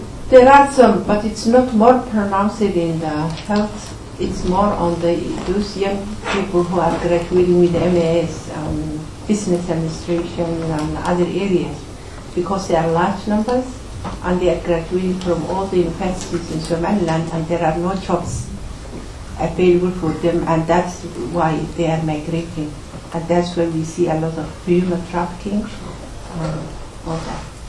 It's a cruel irony, to, as an outsider, to, to me, that you know uh, institutions like Amoud University and, and others were set up uh, with this, uh, uh, and, and funded by the community and the diaspora specifically to try and keep people in the country and stop this happening. And, and, and now, yes, more and more young people are being retained for longer, but once they're out of university now, as opposed to out of school or earlier, then there is.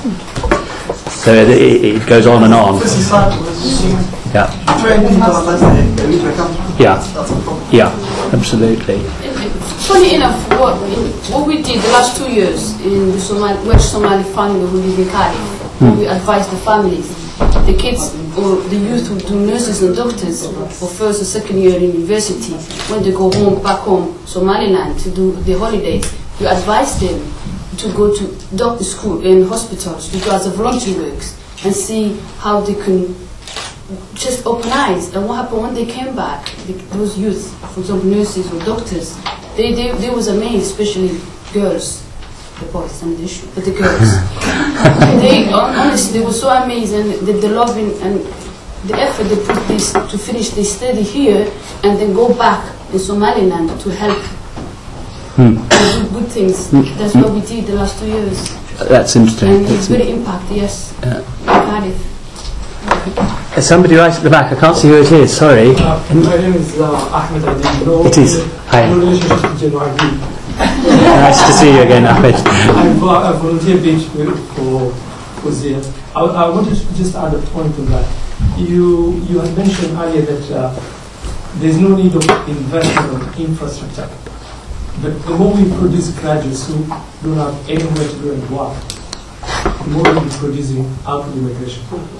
Because there's no any investment in infrastructure in Somalia, be it in healthcare education. There's no even even support, a proper support for the government to establish the capacity required to absorb these graduates. And that's why we have the same problem that we mentioned. Yeah, sorry, I wasn't saying there's no need for infrastructure spending. Uh, m- my point was that uh, that health professionals say that uh, you know when you're confronted with a need to do everything, the first thing to do is to get the, the people trained. It's not Um, point, but that is the general perception of the, all the aid-giving organizations within that part of the country. At the moment, they're investing a lot on uh, uh, developing the skills and uh, developing systems. But these institutions don't have any base. You can, you can have all the manpower that you need, but if they don't have a place where they can go and deliver the capacity. Or, or wash in a sink, as, as Fouzia was saying. Yeah, the no, I accept that. Now they've reached a place where, without having their own center, the services will be just all over the place and they will not have their own place where they can effectively develop their own uh, agendas. Hmm. So we have reached a stage where we need more investment on infrastructure within that country. Yes. yes. Gillian. I think this guy was holding longer than he Oh, I'm sorry. I'm sorry. No, no, sorry. Gillian, can I see uh, Mark? Okay. Um, if I may, thank you so much for your presentation. and It's really inspiring what's happening in the cities. Uh, my name is Mark Jones. I'm here with a number of hats, but actually I'm UK correspondent at Somaliland Press.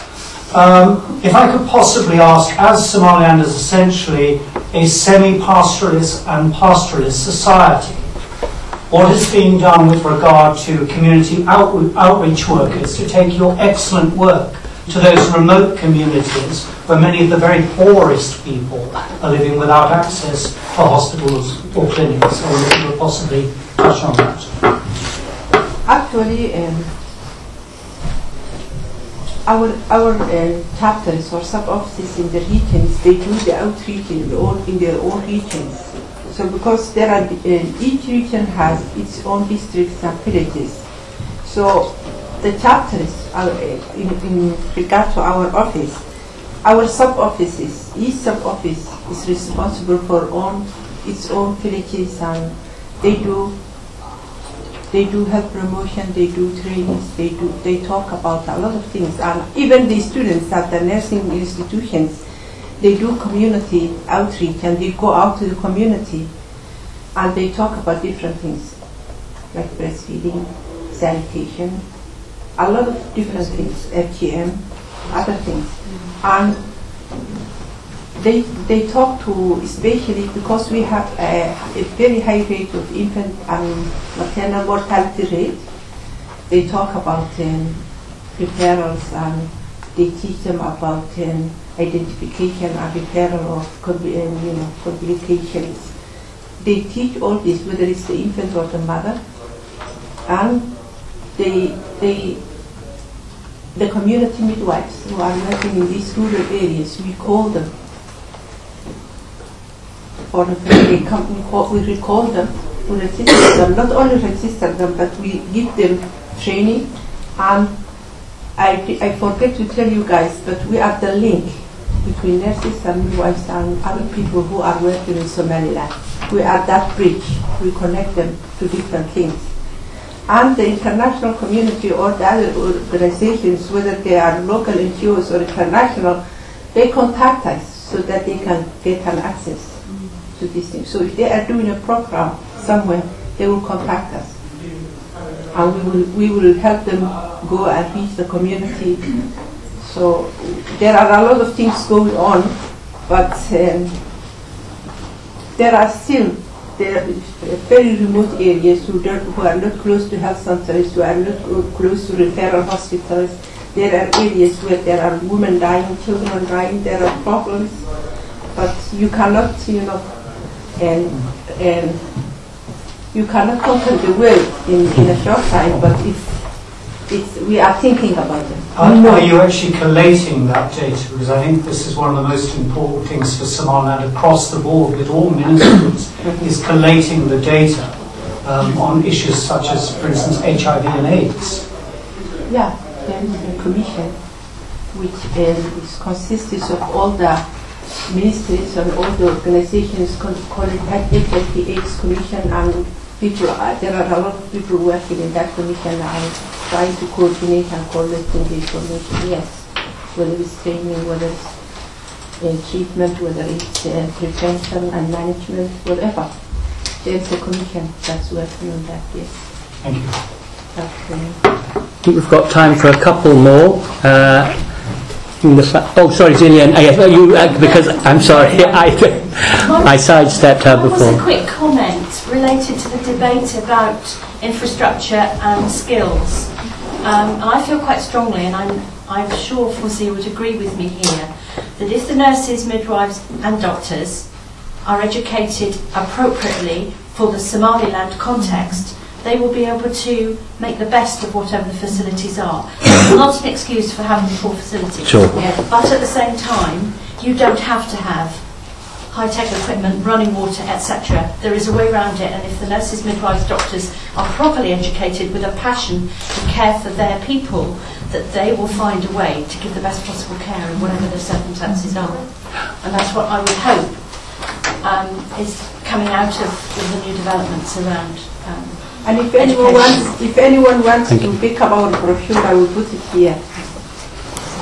If I could just echo that point quick, quickly and say, um, on a recent trip, um, I took my son, the paediatrician, uh, to Hargeisa Hospital, and he made the point that you've made um, very strongly, that yes, there, there were many aspects of the physical infrastructure that, that quite clearly need to be improved, but simple basic procedural changes, having simple manuals that, that people could adopt for pediatric care would improve the level of care by, Administration by, by as well. enormous means. So it's, it's not about machines and bricks and mortar, it's people.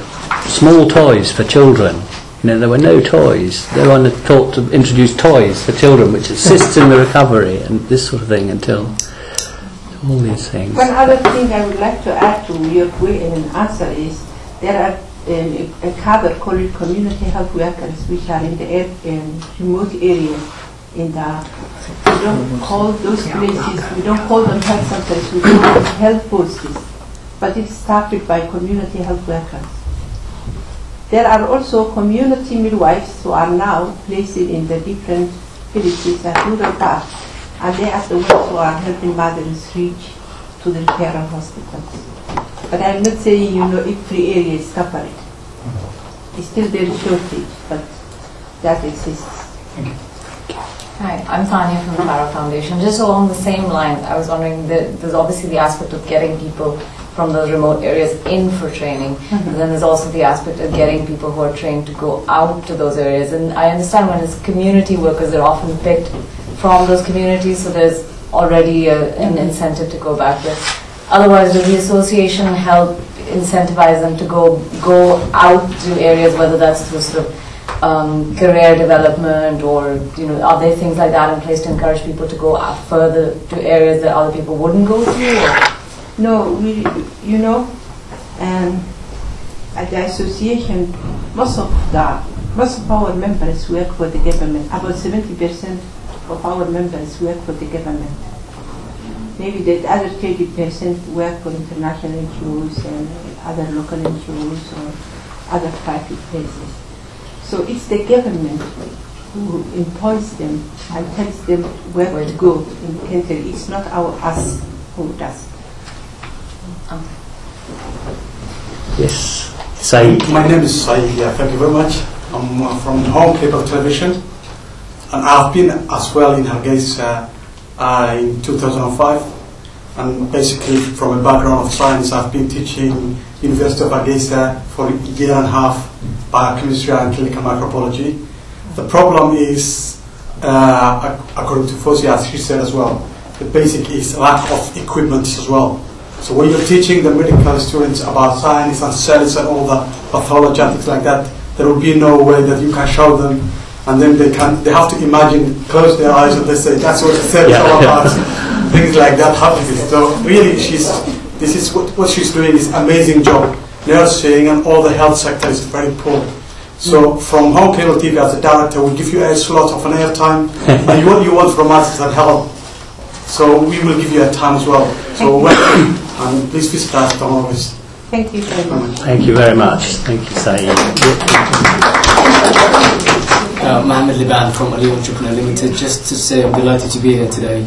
a quick thanks to Mark for actually showing me on, on this event and for the invitation. Obviously, what you're doing is pretty amazing. Congratulations to yourself, the association, and your team.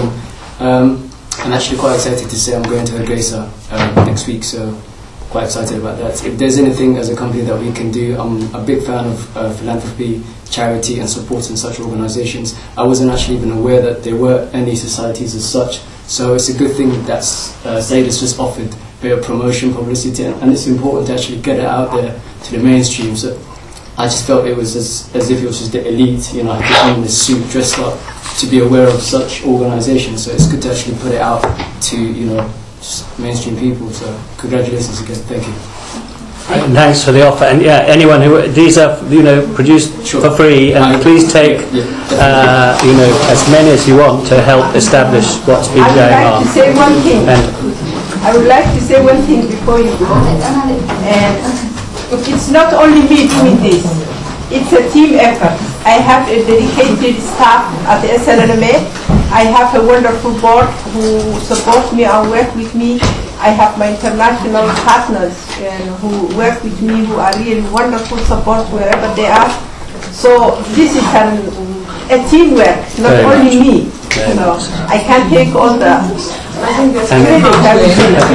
and the last question, Adam. I hope it's a short one. Last one, because people I know.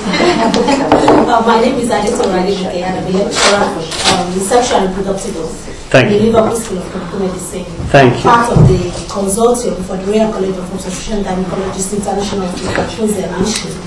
Um, we have been um, supporting in the health systems training program. I just wanted to add to what Fouzia said about the issue of uh, ensuring that health workers are deployed um, to remote areas, you know, the, the question that you raised. That as part of the community health workers training, especially for the community midwives, girls were actually selected from their communities. So they were trained and they were born to go back to the communities to work. So I, and I think that's a very good system, in that as they were trained, they were nominated by the community, they were trained for the communities. So there wasn't any problem in terms of asking them to go back to work in that community. But that also leads me to another question because I know that that um, training was supposed to be a pilot study you know, for community midwives and it was funded by UNFPA. I'm not sure if that is continuing or if that has stopped due to funding. Thank you very much. If anyone missed the introduction, you know, Liverpool School of Tropical Medicine are also involved in, in the partnership with, with, with Somaliland. Thank you very much for your, your contribution. And I'm sorry. To have. Yes, please. And yes, the first group was in a pilot program. There are two groups that graduated from Edna community midwives who were um, selected from different communities, trained and then brought back. And we as association, we followed them, we gave them um, basic emergency obstetric care, we gave them life-saving skills training. And we also, with the support of um, UNFPA, we gave them the delivery kits, and then they went back to the communities. There is also 100 that's going to be tra- that will that will graduate next year. 20 is going to be trained in Burqa region. 20 are going to be trained trained in Awdal. 20 are going to be trained in Hargeisa. So um, 20 will be trained in Sool. So 800 more, another 100 more community midwives are going to be trained. And who's funding that? Hmm? Who's funding that? UN, UNFPA. UNFPA. Okay. Well, I think at that note, uh, so you do, you know, do, do feel free to, to speak. Just the proposal, um, I just had a look at. Who's actually funding that? And have actually started uh, sort of working towards this proposal, this project? This proposal that you've given. Yeah, sorry, I, I'm going to have to. Uh, sorry, um, I would just like to um, thank you all again for for coming and for your contributions. There were a lot of very good points raised, and most of all, um, I'd like to uh, thank Fouzia and Mohammed again. Thank you. sorry, get please, you know, to. Sorry, I could. I knew everyone was going behind you.